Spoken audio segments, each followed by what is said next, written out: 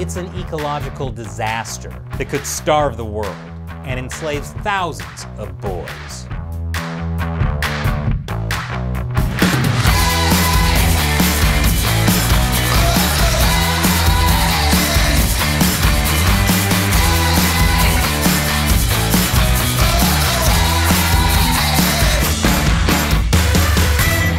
This is America Uncovered. I'm Chris Chappell.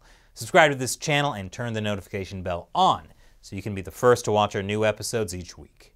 So, if I were to ask you your favorite food, you might respond with something that's native to where you're from. For example, if you're from Italy, you might say pasta.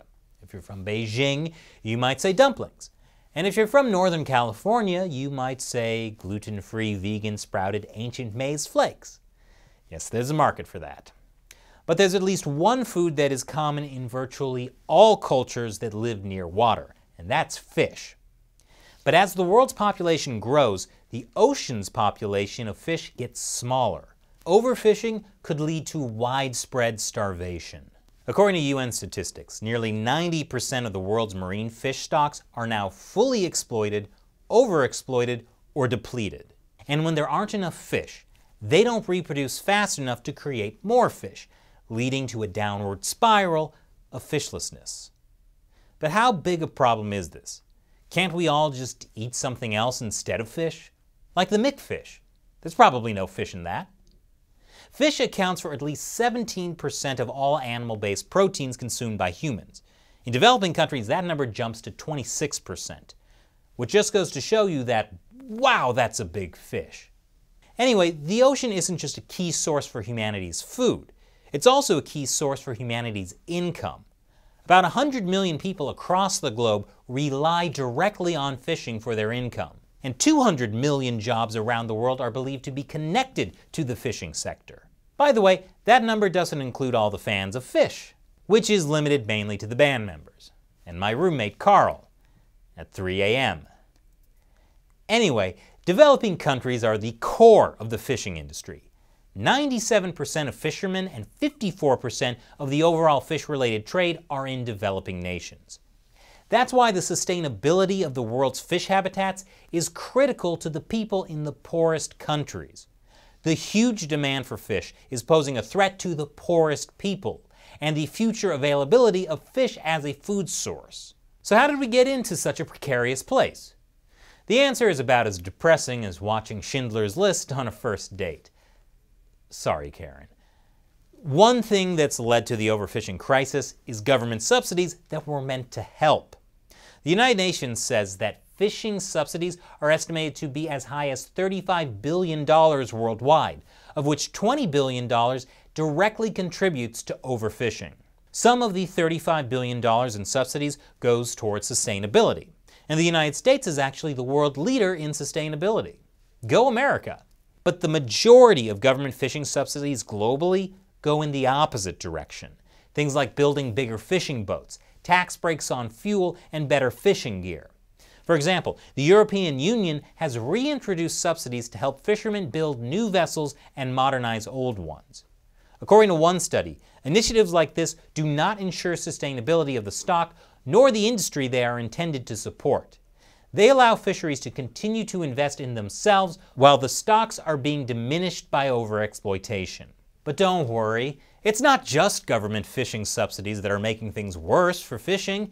There's also environmental pollution. For example, motorized ships pollute the water, especially small bodies of waters like lakes and rivers, and that hurts fish habitats. Badly planned hydroelectric dams can often destroy fish mating cycles. And used fishing gear, especially plastic netting, is the biggest plastic polluter in the world's oceans. Wait, what? It's not plastic straws. Why am I drinking out of a paper straw then? Why don't we make fishermen use paper nets instead? And if that isn't enough, there's also mercury. Mercury pollution comes mainly from coal power plants and the gold mining industry mercury seeps into the water and gets concentrated in fish, especially fish that eat other fish. This giant fish is actually made entirely of mercury. A study published in the journal Nature finds that human exposure to mercury leads to neurocognitive deficits in children that persist into adulthood, with global costs to society that exceed $20 billion. Too much exposure to mercury can also lead to severe psychological problems, such as Bohemian Rhapsody. And if the problems of fishing subsidies and environmental pollution weren't bad enough, there's also the issue of human rights abuses. But before we get to that, we're going to pause here for an America Uncovered mental health break. Here's a video of a Pomeranian. Ah. So there's a black market for fishing that involves human trafficking. The high seas are a place where anyone can do anything because no one is watching. Movies might portray international waters as a place where rich kids can throw killer bachelor parties with unlimited debauchery. But in real life, international waters are a lot less fun, especially for the tens of thousands of men and boys each year that are essentially slaves on fishing boats. Job seekers from poor countries are tricked into taking jobs aboard fishing vessels where they're held for months, sometimes years, with low wages and dangerous living conditions. And because they're out to sea, it's hard for governments to stop this kind of thing. Illegal fishing is big business. The illicit seafood trade, some of which involves this type of human trafficking, generates an estimated $160 billion in annual sales. So are there any solutions to the overfishing crisis? I suppose that fish could throw a benefit concert to raise money and awareness, but I think there's been enough human suffering already. The UN has already committed itself to curbing the use of fishing subsidies. Yet while the UN imposed a December 2019 deadline on itself to act, the deadline is almost certain to be missed. That's going to come as a disappointment to the zero people who actually expect the UN to do something. Some governments are already moving to tackle the overfishing crisis by calling for temporary moratoriums on fishing. That means fishing stops for weeks, months, or years to allow stocks to replenish themselves. But that also needs to come with enforcement, because, surprise, some people ignore the laws. Governments should also end the types of fishing subsidies that lead to overfishing. Another option is for companies themselves to create sustainably grown and sourced seafood. For example, one California-based startup called BlueNalu is planning to grow mercury-free seafood cells in labs to ensure a steady supply chain that doesn't contribute to overfishing. In a similar vein, non-fishing businesses can help. The Iberostar hotels in the Dominican Republic have committed to only purchasing fish from environmentally conscious fisheries.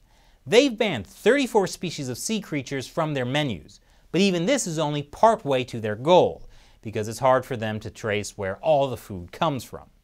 And a report published this year in Science Advances found that instead of focusing on individual fish populations, scientists and governments should instead focus on entire ecosystems, which would include the smallest plants and creatures in a given ocean or sea. According to the co-author of the report, detecting overfishing at an ecosystem level will help avoid many of the impacts we have when managing fished species on a population by population basis and holds promise for detecting major shifts in ecosystem and fisheries productivities much more quickly. So what do you think about overfishing? And are you ready for a fish sandwich at Long John Silver's? Leave your comments below. And remember, America Uncovered is supported mainly by viewers. Visit patreon.com slash America Uncovered. Contribute a dollar or more per episode. We rely on your support to help us keep making great episodes. Once again, I'm Chris Chappell. Thanks for watching America Uncovered.